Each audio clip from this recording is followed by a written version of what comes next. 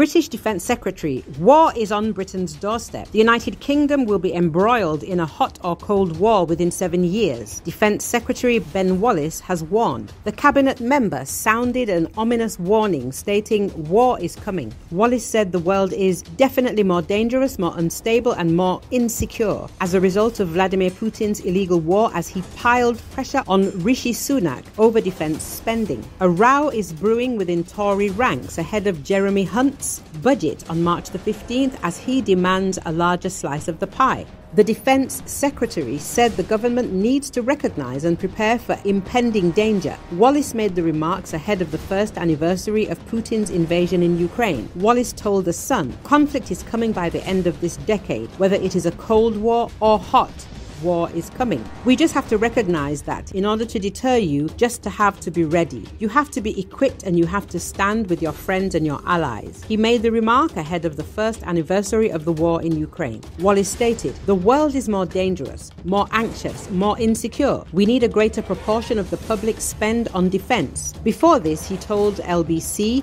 this morning that he expects the war will still be going on this time next year. He said, I think Russia has shown a complete disregard not only for the lives of the people of Ukraine, but for its own soldiers. When someone has crossed the line and thinks it is okay to do that to your own people, running effectively a meat grinder for an army, I think he's not going to stop.